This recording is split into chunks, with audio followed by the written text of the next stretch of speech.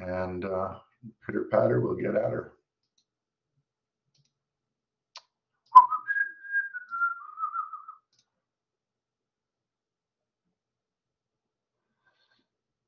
All right, I don't have my notes, which is not good, but all right, you guys see uh, boiler control, ILM 310401F.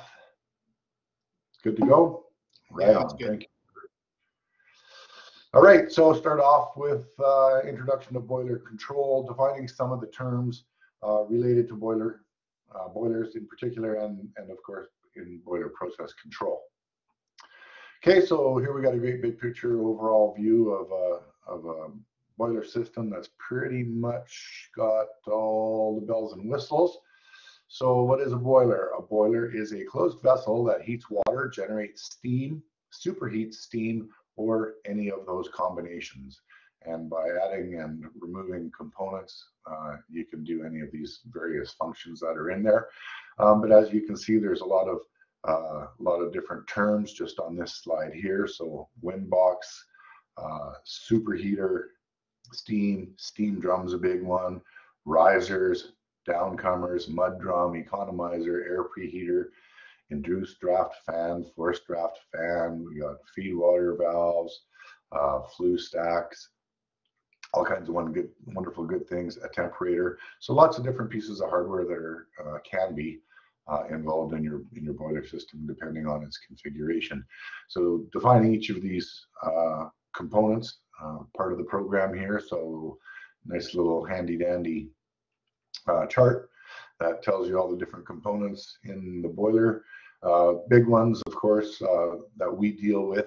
Uh, steam drum is, is a pretty big one. This is a large metal cylinder at the top of the boiler that provides the space for the separation of the steam and storage for boiler water. So ultimately, it's really the big player because there's there's water in part of it and then steam coming off the, the rest of it. Um, yeah, I mean, all of these things are, are things that you need to know. Uh, induced draft fan and forced draft fan. Uh, good to differentiate right off the bat the difference between the two of them. So, um, induced draft is a fan that draws flue gases from the furnace and drives them up the stack. So it's it's sucking out of the furnace. And a forced draft fan is a fan that provides custom air, uh, combustion air from the outside into the wind box. So one, the forced draft fan blows air in uh, from the bottom, and the induced draft fan sucks air in from the top. And you can see here, so forced draft, blowing some air through a preheater, uh, preheater into the wind box where it gets mixed with the fuel and pressurizes and heats up the tubes, the risers, and the downcomers uh, in the boiler. Uh, not all furnaces have both. Some of them are one or the other, but lots of the bigger ones will have both. And then, so the thing to do to understand about the forced draft uh, fan is when it's blowing air into the wind box and providing that air for combustion, it's also pressurizing uh, the inside of the of the boiler housing itself. So all the area inside here is being pressurized because it's, it's like a balloon. You're you're blowing up a balloon. Uh, induced draft fan is opposite of that, right? Where now we're we're sucking air out of the boiler itself, so creating a negative pressure inside uh, of the boiler. So you may not see them both working together, um, but individually, there's problems that can that can happen. You know, imagine things like overpressuring the boiler by blowing too much air in it, although highly unlikely. Uh, much more likely is if you have an induced draft fan in there and you stop providing air into it, you could get that uh, pop can effect where you could actually suck the air out of the boiler and collapse it. So there's an there's a couple uh, points to be made later in the ILM uh, about issues related to boilers, and it'll it'll talk a little bit about these fans uh, later on, as well as you know what happens when our tubes are exposed and things of that nature. Okay, so all these components, be, th be sure to read through uh, this little list here so you uh, understand the basic terminology uh, for, for boilers. Okay, boiler control. All of these things, of course, relate to our trade and the control of the boiler. So there are a few different ways that boilers are controlled and managed. Um, but there are four main control points on a boiler. So uh, PC1 you'll see on here, PC1, which controls the fuel and air firing rate. So you'll see that the uh, this is a steam header, and we take the pressure off the steam header, and depending on um, the demand, we'll have higher pressure or lower pressure in the header, and the signal from that will be sent to the forced air fan, which provides combustion air, also sent to the fuel valve, which will provide fuel. So on a steam demand, of course, it'll increase the signal to both of them to increase our heat output. TC1 uh, controls the temperature by using boiler feed water. So here we have boiler feed water coming into the uh, into the steam drum, and TC1 is way up here. Sorry, TC1 is measuring it on the uh, on the steam header here. So controlling the temperature of it by introducing uh, boiler feed water, which of course is still water and not steam. Uh, so by using it, we can cool uh, the the temperature of the of the header. LC1, uh, this is a pretty important one right here, and we've mentioned LC1. Um, I think in third year we talked about shrink and swell and steam drum level. Uh, pretty important one here. So LC1 controls the drum level to match the steam demand with the water supply. So the whole idea, of course, of a boiler is to take in uh, a certain amount of water and put out an equal amount of equivalent steam. It's all about balancing what's coming in versus what's going out. That's the whole um, theory behind the control system for a boiler. Uh, the fourth component for controlling a boiler is pressure controller number two, which controls the furnace pressure uh, via a fan. So here we have a pressure controller uh, or transmitter coming off the side of the boiler itself, going to uh, a damper on the on the draft fan here, which will of course speed up the fan, decrease the pressure in the boiler, slow down the fan, increase the pressure in the boiler. So these are the four, main measuring areas that we use for control in a boiler. All right, so getting a little bit deeper now into uh, stepping back a couple steps. Yeah, these boilers have uh, controls on them to do the different things. How do we control a system that has uh, one or more boilers? Uh, start out with one one boiler. Um, that's pretty simple. You've got all those components that are on there, and they they do their thing. Most places will have uh, two or more boilers, depending on on where you're at. Um, commercial buildings even will likely have two boilers just for uh, redundancy or or demand uh, increases. And when you do that, you have to have a, a control scheme that can uh, control the two boilers. So there's um, a few different ways that you can control multiple boilers. Uh, you can send a signal that goes equally to both boilers, or you can have one boiler that's the main boiler and another one that comes on when demand increases, or different combinations of that. So the first uh, uh, what's the word I'm looking for here? The first strategy that we're going to look at here involves using something called a plant master. A plant master is the plant steam header pressure controller. So you'll see that the output from any number of boilers will come to a plant steam header where the steam will then be distributed out to all the users. And to control that, we use what's called a plant master. The reason it's called a plant master is because it's measuring the collective uh, steam that has been produced by all the boilers, not any particular boiler, but all the boilers. So thereby we call it the plant, the plant master. And then the plant master will dictate uh, the, the master firing rate. So how much we want these uh, boilers to come on. So it uses, uh, it sets the steam header pressure through firing demand to all the boilers. So plant means all the stuff. In comparison, we have a boiler master. So here again, we have two different boilers. We still have uh, the plant master that's controlling boiler uh, output based on the pressure of the steam header. But we have added something called a boiler master. And you can see a boiler master down here and a boiler master down here, one for each individual boiler. And the boiler master is an auto manual transfer station with biasing which means that you can turn the boilers off and on as you wish, and you can um, you can bias them, meaning you can kind of preload them for how much you want them to contribute to the overall uh, plant steam header contribution. So as we as we read through the ILM there, you'll see that uh, we can we can preset this boiler to come on at 25% and this one to come on at 100% if we wanted, or or 75% if we wanted 100% output from the two boilers instead of just running one. So the plant boiler master relationship is basically like a foreman worker arrangement is the kind of the way I describe it. And it's a way to basically split the load through this biasing uh, among many boilers. So I could have one boiler going at 100%. I could have two boilers going at 50%. I could have three boilers going at 33 and a third percent. Uh, I could have one at 70, one at 30, any combination, uh, any combination like that. So depending on how you want to run it, it gives you that flexibility.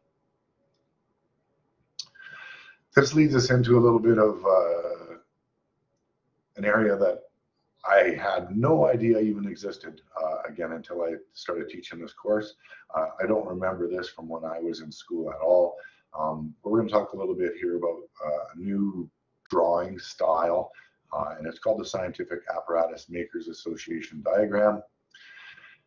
And hey, it's in the ILM, and it's uh, just another way of representing uh, how the control strategy is executed.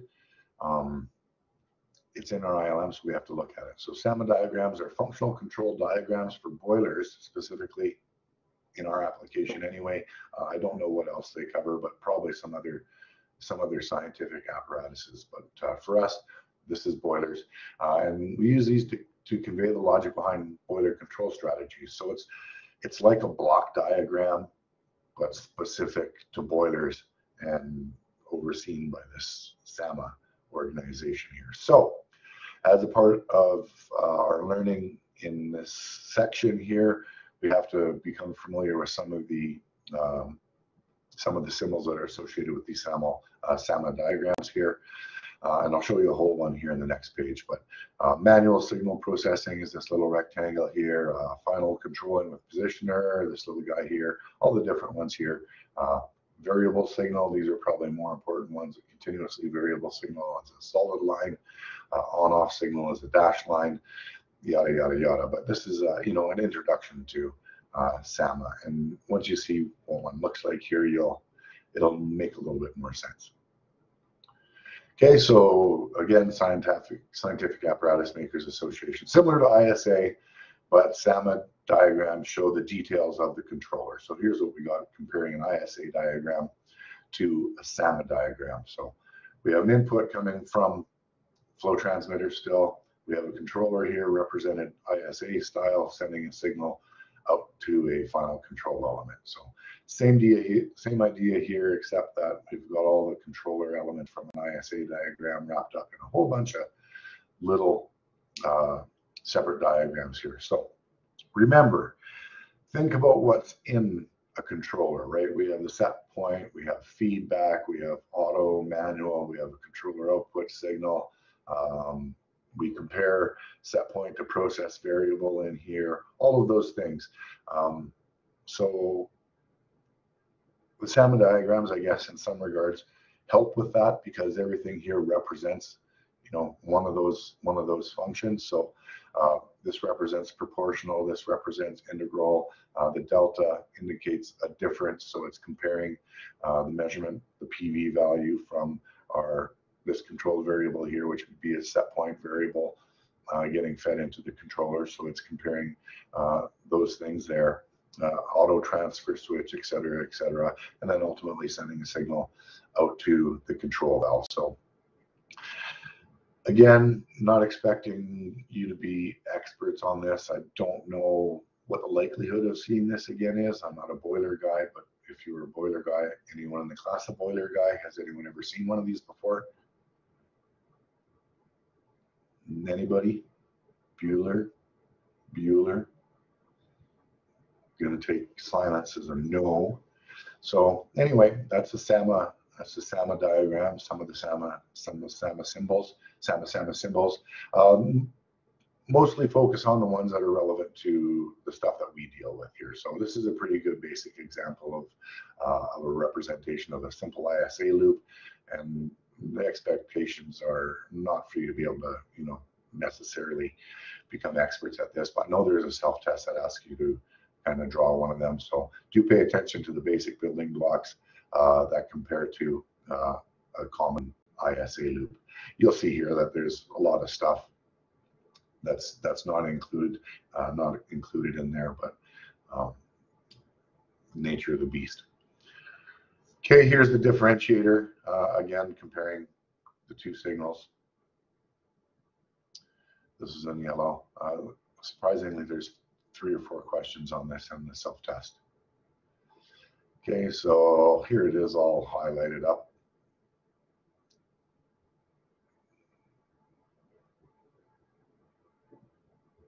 Some of the other options that you can get in this block here, right? Controllers can also do summing, selecting, uh, all kinds of wonderful good things transfer block, variable signal generator. Remember, this is a continuous uh, signal, solid line, final control element, transfer block.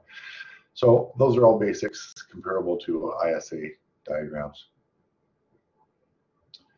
Normally in class, we'd maybe stop here, but not for you guys, I whip you.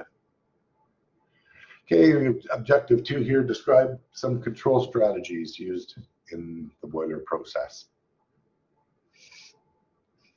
Right, a multiple boiler system has five main control points, although we've uh, we've talked about four with a single boiler. We're talking about five here with um, multiple boilers, each with its own control strategy. Five main control points are below, and we will uh, look at them individually here as we move forward. Get some feedback from somebody. Okay, firing rate demand control. So as the name would uh, imply, as demand increases or decreases, we adjust the firing rate to suit. Uh, boiler combustion control, um, kind of using the combustion measurements, furnace draft control, measuring draft, boiler feed water control, uh, using temperature and feed water to control the boiler, and steam temperature control. So we'll look at them all individually. Somebody's got their mic on, providing feedback. All right, so first we'll look at firing rate demand control, pages 13 to 16. And firing rate demand is the signal that sets the fuel combustion rate in a boiler. So the name pretty self-explanatory uh, for this particular strategy. Uh, it is ultimately pressure controlled. And I think I have a diagram on the next slide so we can look through this here. Uh, this is commonly used on small single system boilers uh, with unspecified demands and are generally controlled with on, off, or high, low, off control systems. So uh, not a complicated strategy by any means. Um, larger boiler systems are controlled with a pressure controller um, using steam pressure feedback control or feed forward control or manual bias masters. So I think we look at that here? No, we don't. So here's a SAMA diagram um, using the steam header pressure going into a pressure controller here represented by our wonderful SAMA diagram, which will send out a signal that increases or decreases our firing rate demand, which will provide more heat and thereby uh, providing more pressure or provide less heat, bringing us uh, less pressure. But in this case, a drop in steam pressure, in this case, will call for more heat, thereby uh, increasing the firing command, increasing the fire, and making more steam, bringing the pressure back up to set point. So that's steam pressure feedback. Okay, steam pressure feed forward, a little bit different. Remember, we're comparing some of these strategies that we learned earlier and applying them now to a different process. Steam flow in the feed forward here. Now, steam flow provides a feed forward signal. So not only just using steam pressure in the header anymore, but we're also using steam flow as a feed forward signal. So if we get an increase in uh, steam flow, we then can fire before the steam pressure drops, right? The benefit of a feed forward system is to uh, minimize any uh, upsets caused by uh, load disturbances. So to do that, we have to in, in, introduce a couple of other components into our SAMA diagram here. So here we're measuring steam flow. Uh, I'm not sure why they have two steam flow transmitters here, but at any rate, measuring flow, bringing that signal uh, into a summing block. In this case, I guess it's adding the two signals together. But the big thing that it does here is it provides a, a, a gain multiplier here in this section B. I should have notes on this somewhere, but I don't see them on my screen. Uh, into this section B, which basically uh, provides a gain multiplier as gain gains do. And then in this block here, it'll add the signal generated by the steam pressure to the signal generated by the steam flow. It'll add them together in the summing block and then provide that to the firing rate demand. So the gain block is a multiplier that provides a boosted signal to be added with the PI signal from the pressure transmitter in the summer, not the season, uh, the summer, the summer as in the summing block. So I maybe should change the wording in that in the summing block.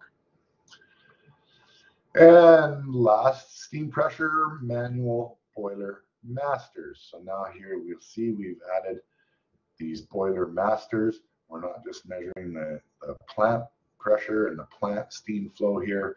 We are we are taking the data that we're getting from plant measurements, and then we're adding some signaling provided to us by our boiler master. And anytime we talk about boiler master, think about we're tweaking that specific boiler in some way. So uh, it'll provide that that bias, right? That's what we're doing. We're saying whatever this signal is coming out of this for the demand, I want this one to be less and this one to be more, or I want them to split, or however you feel like running it. This is what the boiler master allows us to do. So to correct, uh, so these allow an operator to lean on a particular boiler using that biasing feature in order to correct the output. They can set the output of one boiler, uh, the more efficient boiler to be higher than the other boiler, which may be less efficient. Uh, or if you want to have, uh, you know, you want this one on week one, this one on week two, all kinds of different combinations that you can set up. Okay, moving from uh, boiler pressure control to boiler combustion control. Uh, for optimum, optimum efficiency and safety, remember we're talking combustion here, so combustion and combustion efficiency go hand in hand. Uh, also, combustion safety. The combustion control strategy needs to maintain a precise air to fuel ratio. So we'll talk about three combustion control strategies. Uh, the first is single point positioning control, the simplest form of combustion control. Then we'll look at parallel positioning control, which is basically this with uh, a couple different uh, machines. And then we look at parallel metered control. Um, I'm wondering if I should take a second now and look at a video. Let's just scoot here for a second while we're talking about, uh-oh, snap. Daniel, what did you do? I messed up. I messed up. Where's my screen? Snap. I'm sharing the screen. I lost my screen. It's okay. I notice you have 42 pages and you just run a few pages and run out because it's crashed. Hang on, we'll get her back. What's going on? Oh, my computer's not even wanting to play. All right, let's move this over here.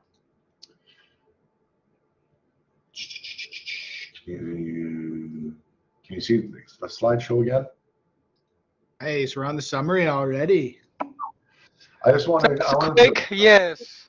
I want to zip along to this. I just wanted to zip along with this video because we were talking about we're talking about all these measure methods of, of controlling the boiler, of course. Uh, the reason that it's very important, and this is kind of a segue from uh, the dangers of combustion and, and boiler pressure, I thought I, would, I want to show this here before we go on a little bit here. So let's let's see what the odds are that this link is going to work.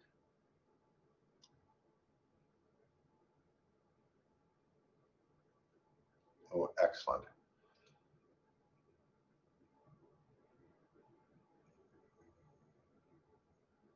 Can you guys see? Now with Can you guys see a video? boilers after that deadly explosion in Uh, St. oh, Louis. yeah, now we caught can, yeah. And ABC Lindsay Janis is at the PSE&G Training Center in Edison, New Jersey. Good morning, Lindsay. Good morning, Michael. In St. Louis, that industrial boiler exploded with deadly consequences. But a reminder this morning, more than 10 million homes across America have boilers and more than 100 million have water heaters.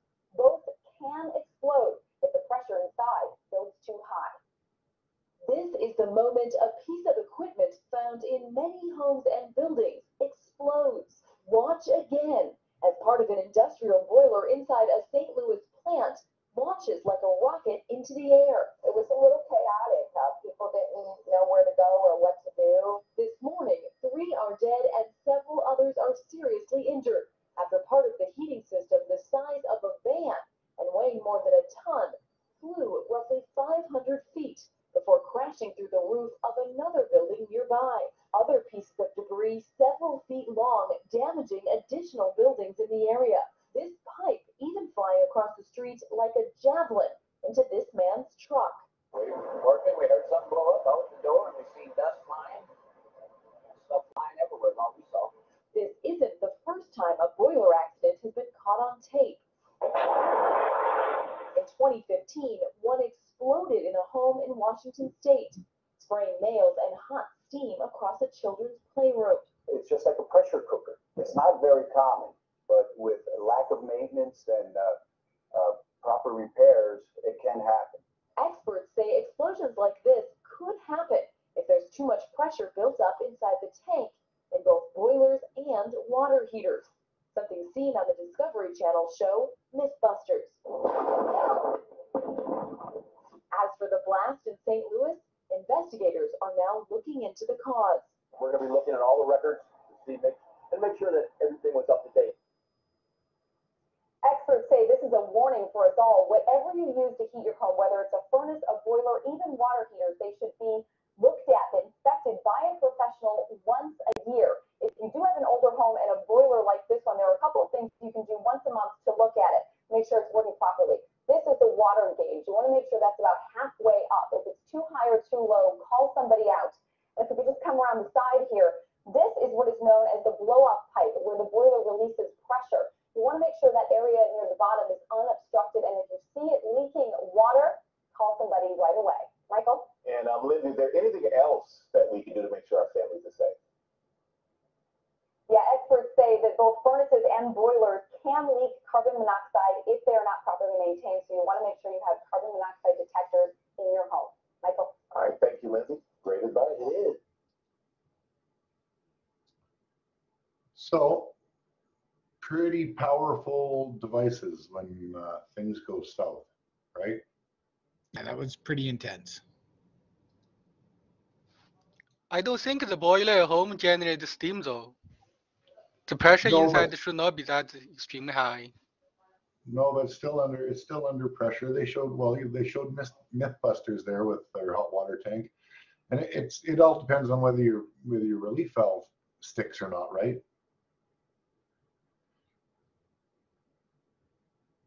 Even, even water that's not heated to boiling will, will still create some pressure inside the tank that will build up. All right, uh, where did we leave off here? Boiler combustion control. All right, so again, uh, optimum efficiency and safety when we're talking about boiler combustion, we want to talk about air fuel ratio. So when we're talking about uh, combustion control, what controls the air and what controls the fuel? Ask yourself this question. Anyone want to say what controls the air in the boiler that we've seen today? Feed forward. The forced, the forced air fan. Okay, so the forced air fan controls how much air goes into our boiler. The induced fan controls how much air comes out of our boiler. And the fuel is controlled obviously by the fuel valve. So when we're talking about combustion control, we're probably going to be looking at that. So let's look at these ones again. Single point, simple, parallel, a little bit more complicated and parallel metered, uh, the granddaddy. Okay, so single point positioning control, also referred to as jack shaft control. The fuel and air flows are not measured actually, and it uses a mechanical linkage and requires a different flow characteristics of the fuel valve and the air dampener to be linearized. So long story short here, the fuel and air are mechanically linked. I don't know how many of you have uh, seen a system like this, but I have. Uh, I have actually worked on uh, a system just like this. Uh, this is a air air actuated, basically air actuated damper controller that receives a, a signal from um, a pneumatic signal typically and pneumatically moves the jack shaft. This is the jack shaft here. And you can see all of these things are linked together. So as the, the boiler calls for a, a demand uh, increase, the jack shaft will turn. It'll increase the amount that the fan blows. It'll also increase the amount that the fuel valve opens at the same time. Um, this here requires the different flow characteristics of fuel valve and air dampener to be linearized. Basically means that you have to adjust the, the linkages here so that you get the correct amount of air for the amount of fuel as these things work in, in unison. But single point positioning control, very basic, mechanically linked. Okay, parallel positioning control, parallel positioning control here, uh, throwing at you one of these wonderful uh, SAMA diagrams here, but parallel, really the only thing that changes from single positioning is the word parallel and what that obviously means to us. Uh, so looking at the fuel valve here, the air valve here, instead of having uh, one signal going to uh, an actuator that runs a jack shaft, we now have a parallel a parallel signal here, right? So fuel and airflow are not measured still. Fuel and airflow still need to be linearized with characterizers.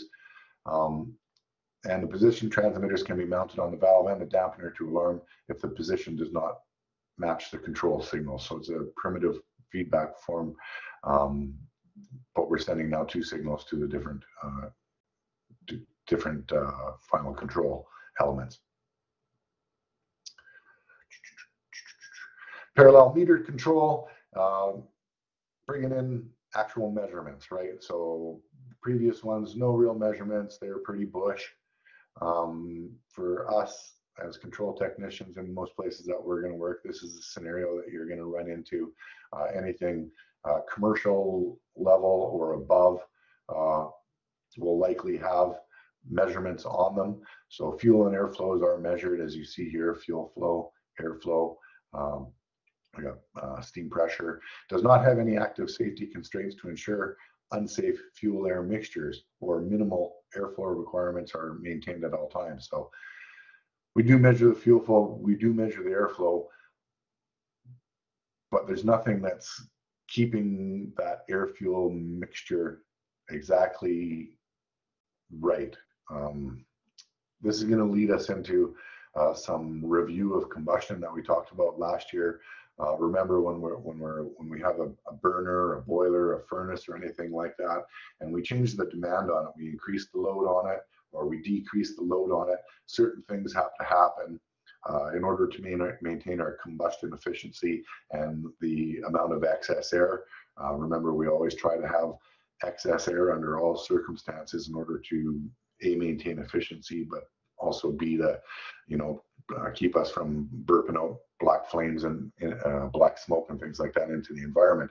So this system, although it does measure the fuel flow uh, and the airflow and has some provision in it to provide trim for them, it, it doesn't have any real way uh, for them to know what's going on in between them. And we'll talk about uh, obviously what happens uh, in order to uh, overcome this this problem because basically what happens now if we have a, a decrease in demand.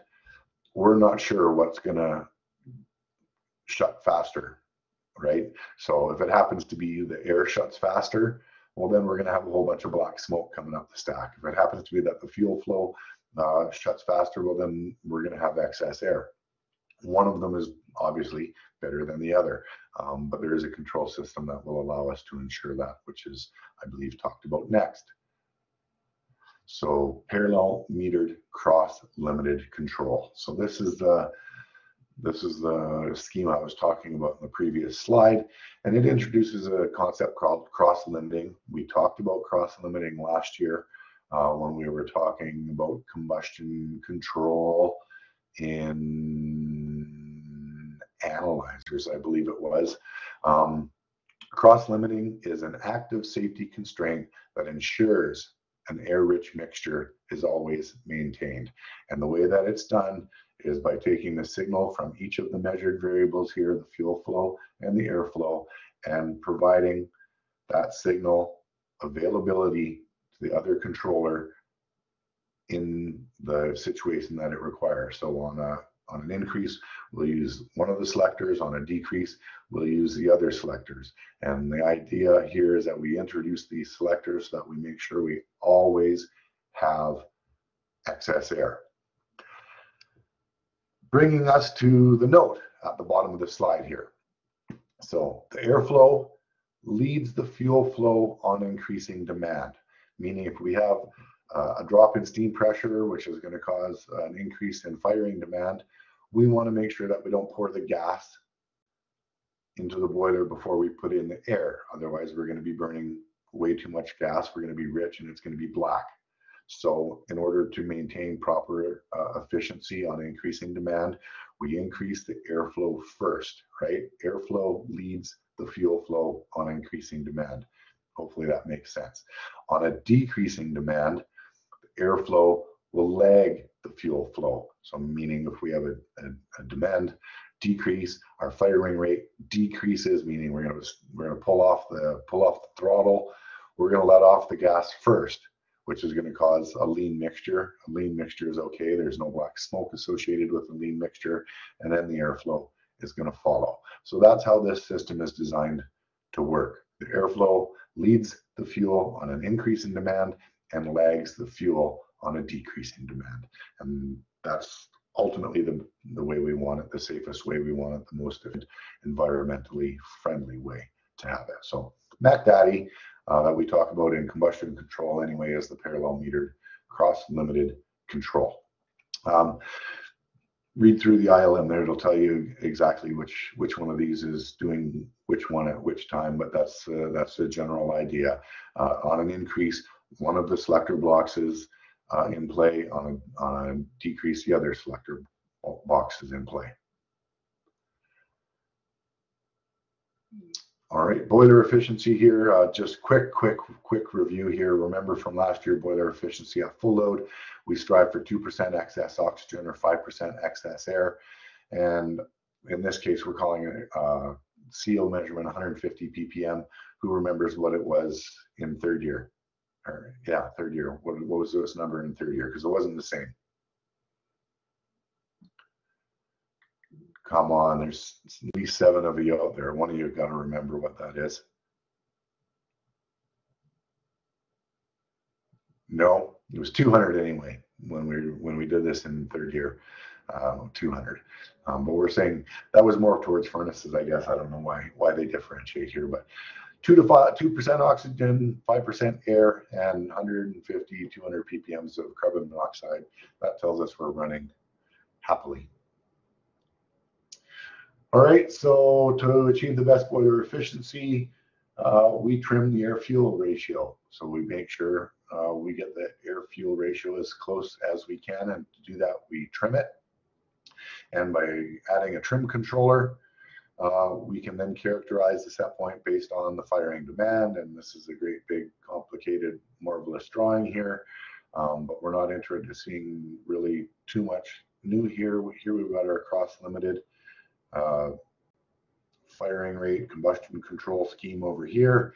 And what are we adding? We're just simply adding a combustion analyzer here, an oxygen transmitter in this case, and it's going to read the oxygen in the flue stack and if it's not happy, it's going to provide it's going to provide a value that gets added into the air fuel ratio calculation here in order to bring us back into line.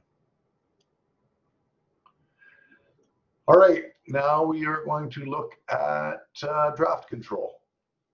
So draft control, uh, dealing with the way that the air moves through the boiler. So furnace or boiler draft control depends on the type of draft used. And we will look at uh, the four different ways that it can be done. And again, starting out with Mother Nature and ending up with the Cadillac version of draft control. So natural draft, as the name would imply, relies uh, just on nature, call it the chimney effect. Uh, just use dampers to control the flow of air going through the furnace. So if you have a smoker at home, um, you're controlling how much heat is in your smoker by opening and closing the dampers. Same thing as natural draft. Next, we have induced draft. Uh, again, induced draft, just like an induced fan, will draw the gases through the furnace with that fan and operate slightly below atmospheric pressure or at a negative pressure. Then we have forced draft using the forced draft fan, which produces the combustion, or sorry, pushes the combustion air through the system, and this operates slightly above atmospheric pressure or at a slight positive pressure. And then last but not least, balanced draft, which uses both of the fans to operate at a slightly below atmospheric pressure. And remember, we always want a boiler to be uh, drawing in uh, drawing in extra stuff rather than blowing stuff out any gaps or holes or windows or whatever. That's why we want to have it with a slightly negative pressure. Um, if you've walked around on some industrial furnaces, uh, you know, some of the bigger ones, two, three stories high, they often have uh, porthole windows on them where you can look in where you can look inside to you know see what the flame looks like et cetera et cetera. Um, obviously in a situation like that you don't want to have flames being forced out of the boiler uh, you know burning people as they walk by blowing doors off et cetera et cetera. So this is why we run on negative pressure on most boiler systems. Okay so looking at the uh, diagrams did i skip them all yeah, I did. So um, I skipped most of the diagrams here. Uh, basically what happens, uh, of course, forced draft will not have this fan.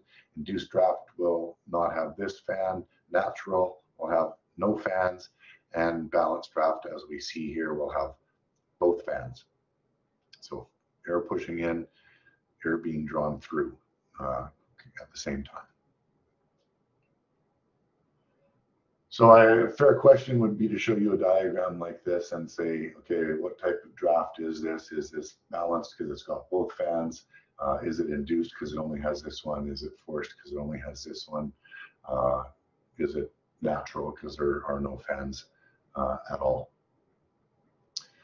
All right, feed water control. I believe this is the third uh, third measuring element that we use as a control strategy here is boiler feed water control. And this relates uh, to the loading of the boiler again, as usually does here. So the size, pressure, and loading of a boiler will determine the needs for the implementation of the following strategies. And I guess this really kind of would have applied to any of the previous ones also. Um, but we're going to talk about boiler feed water control here. Uh, and we're going to talk about things like drum level pressure compensation. And we've talked about drum level uh, and the effects of drum level pressure and why we need compensation uh, in third year. Uh, the terms that we talked about then were shrink and swell. Uh, that was in measurement, if I'm not mistaken. So hopefully that'll trigger a flashback for you when we talk about that. Then we will talk about single element boiler feed water control, double element or two element boiler feed water control, and then finally three element boiler feed water control. And as, as we did previously here, we move from uh, more primitive, uh, less measurements to uh, more advanced, more measurements used in the strategy. Okay, maintaining a constant boiler steam drum level is critical for both plant protection and equipment safety. So the steam drum, uh, aside from the burner assembly, of course, uh, is probably the second most significant component in a boiler. So a lot of attention needs to be paid to the steam drum. Okay, so here's our flashback to drum level pressure compensation. Um, and we, I think the next slide, just let me flip here.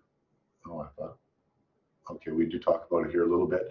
Uh, why do we need pressure compensation? Again, the, the density of steam and water at their saturation temperature will change with pressure. Uh, this will tie into more things that we don't really discuss, um, such as the temperature, um, the temperature of steam at a given pressure, and that leads us into things talking about wet steam and dry steam, superheated steam, uh, and things like that. But we don't really cover that in this course. Um, but the changing pressure, of course, is going to change uh, the density, uh, and that's going to change a whole bunch of uh, physical characteristics of water and of steam, how much heat they can hold, uh, all that kind of stuff. Um, the long story short, I guess associated with the slide that we're looking at here is the, the different set points that we'll have for our level transmitter based on the, the pressure in the steam drum, uh, which affects our density. So remember, we have our PGH formula, which uses um, pressure, gravity, and density. So if we have changing pressure, that means that we're going to have also changing density. And then when we do our PGH calculations, it's going to vary. So uh, looking at the chart here, we have a, a, drum pressure of 2000 kPa and we have a drum pressure of uh, 1000 kPa. Same drum, same physical dimensions, all that kind of stuff. But at 2000 kPa, you'll see our lower range value is this value, our upper range value is this value. Um, at a lower chain, a lower pressure in that same drum, we have different calibration settings. So what does this mean to us? Well, if we're not operating at the designed pressure, our calibration values are going to be off thereby our level indication is going to be off. Thereby we could be raising or lowering the drum level inside here, which is exposing uh, tube. It's, it causes all kinds of problems. So we have to be aware of the effect of pressure anyway. Okay, so in order to correct for any fluctuations in pressure, of course, we have a drum, uh, drum pressure transmitter, which allows us uh, to uh, correct for it here. So we have a drum level transmitter, basic control, and then we add in drum pressure, and that gives us a, a multiplying block here. We'll take two signals then and provide that to our final control, uh, final controller and final control element.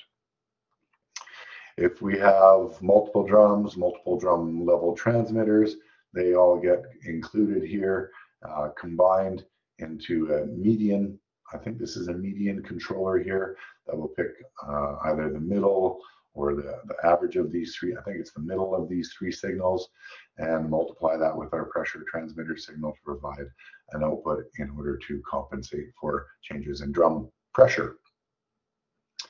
Okay, here's uh, here's the flashback slide, shrink and swell.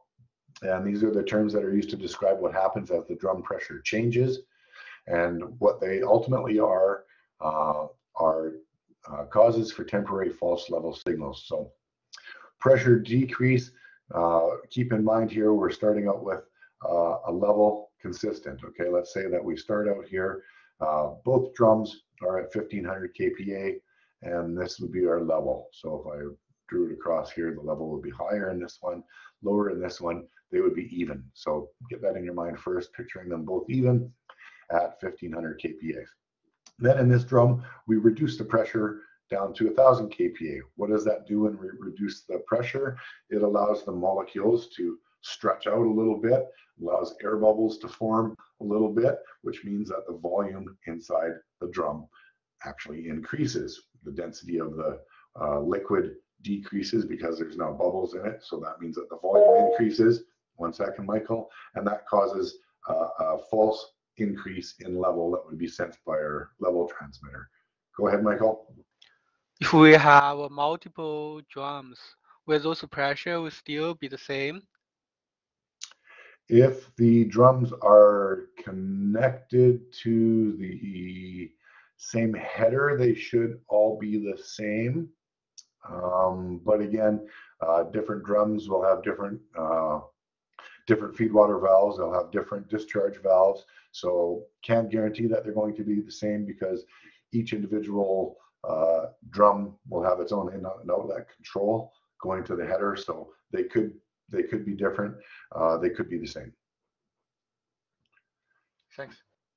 Okay, and then so conversely, if we increase the pressure in the drum, of course, we're forcing the molecules together, we're squishing the bubbles, uh, we're making the, the liquid more dense, and as such, it's going to shrink in volume and the level is going to drop. And that's going to be sensed by our drum level transmitter, uh, and it's going to drop our level, uh, which is in turn going to cause the system to think that there's an increase in demand because our level has gone down, right? The, the steam drum, uh, the drum level is often used to control the amount of steam. So if the drum level goes down, then it's going to cause uh, an increase in the firing rate, which is going to, you know, create more heat, which is going to create more pressure, which is going to, and it's it's something that again we have to worry about these temporary false signals. So that's why pressure control is important. Okay, so looking at single element drum level control, uh, very simple. Drum level transmitter is the single element that we use to control the feed water valve. So the level within the drum sent to the level controller and the level controller will open and close the feed water valve in order to maintain our, our level.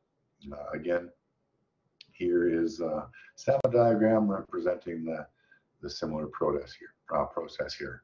Uh, what is the downside, of course, to a single element drum level? Well, it does not compensate for shrink or swell effects because it has no pressure compensation at all. Uh, this application would be for small boilers with slow load changes or large base loaded boilers, meaning if you had a multiple boiler system with a, a big boiler and a couple of smaller boilers, and the big boiler runs most of the time, and when there's an increase in demand, uh, you know, supper time, cold days, shower time, whatever it is, uh, then the other boilers would come in. Uh, they would have their own control scheme. So the significance of the on the big boiler would be not as much. So relatively primitive control scheme. Uh, what the, what the heck do I got going on here? Wow, looks like I looks like I skipped a few things here. Uh, yeah, I don't even know what to tell you guys. Have I missed? Does it? Does the ILM show uh, double and three element schemes in there? I have to check now. Un unlike me to skip a whole bunch of things. Yeah, we have double and triple. All right, so I don't imagine that it's very complicated, and that's probably why I did not talk about them individually. Um, so yeah, just quickly here, two element introduces a, a, flow transmitter on the steam header. So that would be the second element. And then the three element uh, introduces a, another flow transmitter on the boiler feed water line, uh, which introduces another measurement. So uh, one of them is a feed forward, and one of them is a uh, almost looks like a cascade type of signal. So adding the elements, of course, increases our control and increases our uh, stability uh, in the system. And I guess I'm just going to have to leave it at that. I'm not sure why I left that all out. Anyway, as work, work your way through the single uh, single two and three element drum level control, you'll see that the double will uh, alleviate shrink and swell, but it'll still have a problem. And then the triple uh, or the three element will uh, eliminate one of the issues that the double uh, did not uh, take care of. So ultimately what you end up here is a very primitive, uh, very primitive uh, process loop. Then you add a flow transmitter that provides some feedback uh, from the steam header. And then you provide another flow transmitter, which is going to provide you uh, information on the feed water supply, which is a feed forward signal that gets added into the controller. All of these things, uh, of course, making the system uh, more complicated, but also more robust. All right, steam temperature control. So I believe this is the fourth element, if I'm not mistaken, might be the fifth element. I lost count. Um, but steam temperature control and how do we use that measurement in the process here. So steam leaving the drum is wet. Okay, we, we get water in the drum, we heat it up, it turns into vapor, and we call it steam, and we put it into a steam header. And this kind of steam is what we call wet steam. It's the same kind of steam that you experience when you're boiling a pot of water and the water turns into vapor. Uh, the only difference is the, the, the difference between atmospheric pressure and the pressure that we've contained it in. Excuse me. Wet steam is used for uh, heating applications, you know, building heating applications, uh, cooking, um, not like making steamed rice, of course, but uh, using it in pipes to, to heat pots uh, in that type of cooking. Uh, drying applications, uh, same way, we're not drying it by spraying it with wet steam, we're drying it by putting a, heated tubes, tubes that are heated with wet steam in front of a fan and then creating hot air of course. All right. Um, what does that say here? So steam leaving the drum is wet. We use that for heating, cooking, drying, etc., and is controlled by pressure transmitter in the in the steam header. Uh, I'm not sure why I threw that in there, but I did. Uh, turbines, and then we don't really talk about it very much, but turbines, which are major industrial machinery, machinery that's very popular here in Alberta, uh, they need dry steam, and you've probably heard of uh, wet and dry steam. The difference is saturated or wet steam is superheated by hot combustion gases in order to make dry steam. This dry steam is controlled by a temperature transmitter. So when we have talk about dry steam, we're talking about superheated steam, which we don't really get into, but I'll just quickly tell you the difference. Saturated steam is wet, and moist and has water in it.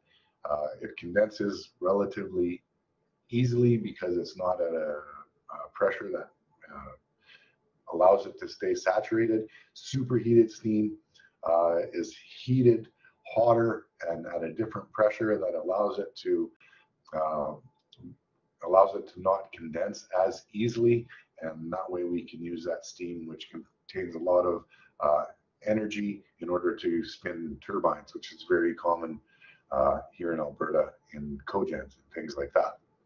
Okay, superheated steam temperature is controlled by the attemperator. And if you remember way back in slide two, we talked about the pieces of equipment and the attemperator. A temperator was the first piece of equipment off the top of the, uh, of the steam drum.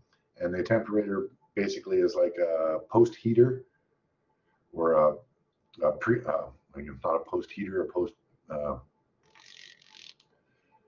cooler, I guess. It's cooler, I guess, that they use to control the temperature of this of the superheated steam. So it's it's it's like a it's like a radiator, I guess, is a is a easy way to put it. Uh, so the attemperator or the desuperheater uh, basically sprays boiler feed water into the steam, uh, and that's how it controls the temperature of the superheated steam.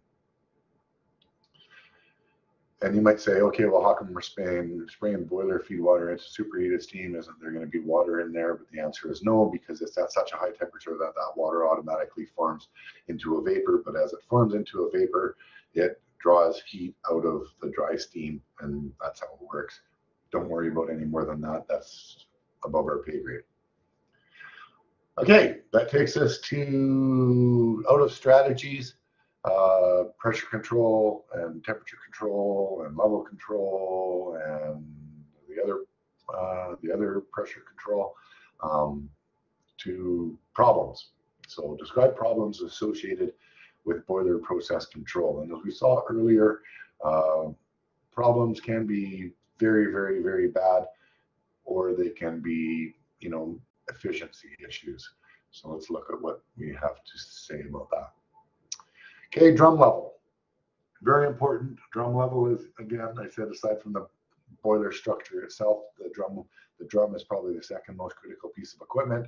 And of measurements, drum level is probably one of the more critical ones.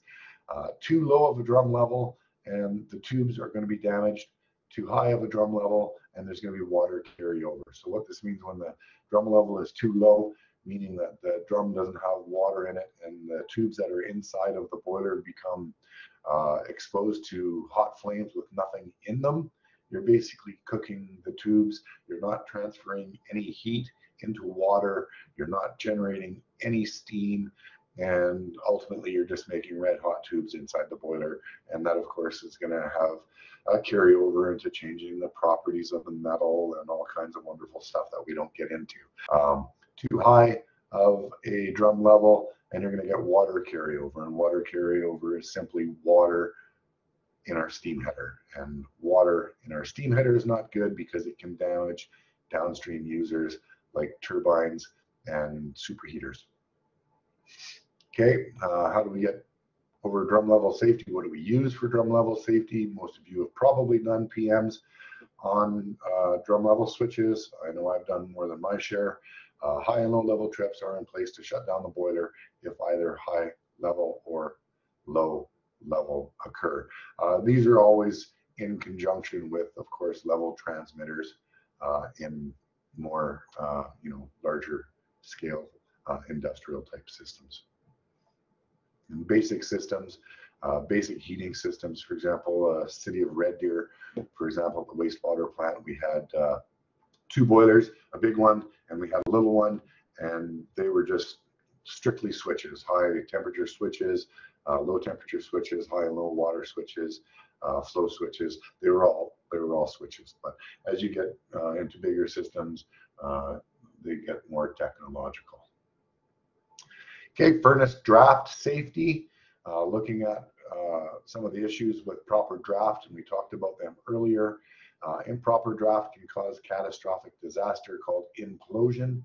implosion would be due to a reduced pressure in the furnace compared to the atmosphere. And I said that was the, the tin can effect when we have the forced air fan not forcing any air in and the furnace not able to uh, draw through as much air as it's sucking out with the induced fan. So that would uh, essentially cause the uh, boiler to cave in. Big problem, of course. Um, blowing up, not as not as likely. Um, there's no way that you're going to get a forced air fan to provide enough pressure to, to blow up a boiler, um, but it takes less pressure to, to suck it in. Okay, uh, another furnace draft safety concern here is if the fuel trips the furnace. Uh, when the fuel trips the furnace, aka you have a problem with your fuel, fuel supply, it's got to shut down in the proper order. Again, always wanting to maintain uh, excess air. So fuel trips, then the air will follow, hopefully. Uh, what we're going to say about it here is the ID fan is slowed down and then the forced draft fan is ramped up. This is to create a positive pressure in the furnace, right? Avoiding that disaster.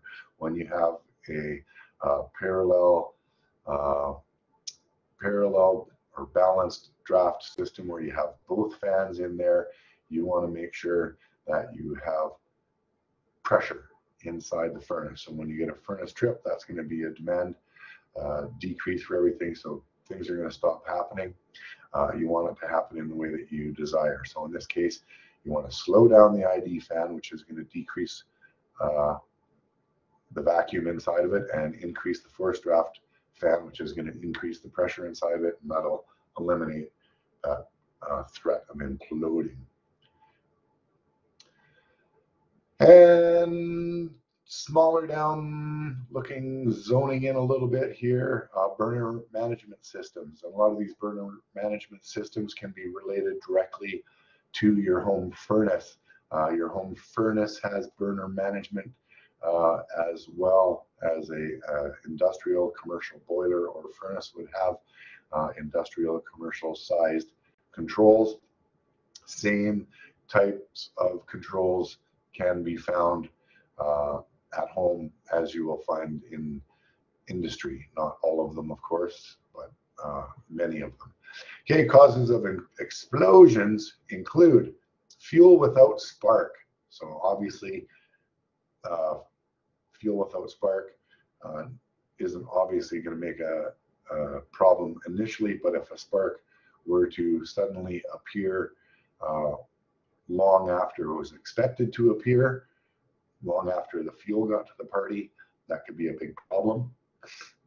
Uh, fuel leakage in an idle furnace. I don't know of a great example uh, for that, but seems to be self-explanatory to me. Uh, loss of flame and then a relight. So let's say, for example, you uh, lost your pilot or something like that, or you lost your flame and before the, the fuel valve, uh, before the system detected loss of flame, your fuel valve stayed on for a little while. And then you go, oh, my, my flame went out. And then you hit the sparker button again. Uh, you got all that gas in there and then kaboom. We've probably all done that on the barbecue. Uh, lack of purging prior to lighting, so very similar to the previous example here. Uh, making sure you don't have any combustibles inside the boiler before you hit the, the fire button. And another uh, issue, of course, bad fuel ratio. So uh, too lean, uh, decreasing efficiency, wasting energy, or too rich, um, making black smoke, um, bad efficiency, bad for the environment, etc., etc. So to get over that, we have burner management systems, and here's a great big old Mac Daddy fan, um, a Mac Daddy diagram showing you a burner burner management system. Uh, and all the different controls that are in place, all the different interlocks that are in place, all these symbols here with the slash in them. If you uh, don't know, these are interlocks. So they're saying that all of these different things have to be fulfilled before we'll even uh, before we'll even allow things to, to happen over here. So you got pressure switch interlocks, high and low interlocks, uh, all kinds of different stuff in here. I'm, I'm not going to walk you, uh, not going to walk you through uh, the step-by-step process here. The ILM, I believe, does that in a couple of pages here. But basically, uh, what we're saying is that there's certain things that, certain criteria that have to be uh, achieved before we'll allow you to um, open the gas valve or turn on the igniter. Um, all these things have to be uh, in place. And that's what a burner management system uh, does. Okay, so burner management systems uh, set start permissives to ensure safety. Some of these start permissives include purging and reset of boiler trip logic. So if it was previously tripped, there's got to be a method for it to be reset and to purge so that everything is safe. It's just like, uh, you know, just like relighting your furnace. You want to make sure that there's no gas in your ducting before you before you start it up again. Uh, igniter uh, igniter gas pressure management, so making sure that you have uh, proper gas on your pilot line so that when you uh, open your pilot valve and you press the igniter that there's gas there. Uh, burner gas pressure management, again, same idea, making sure that there's gas pressure. It's not too high, not too low, so that when you open the gas valve after the pilot has been lit, uh, that the burner will light, right? And there's a there's a tie-in between the pilot and the main burner, as you probably would know in your furnace, right? It's not gonna it's not gonna fire up the main burner if the pilot's not. The pilot valve usually uh, turns off the gas so that you can't light the main burner, and other gas management logic. Okay, so simple, complex boilers range the full gamut. Uh, some of the things you can relate to uh, home applications, uh, they are in many ways relatively simple. And then some of the stuff we learned was uh, kind of industrial. So boilers can be simple or complex. Boilers are giant bombs and they must be respected and understood. And that is the end of 310 401 H. I'm not sure what it is. H, G, G, I think H, boiler control. F. F, not even close.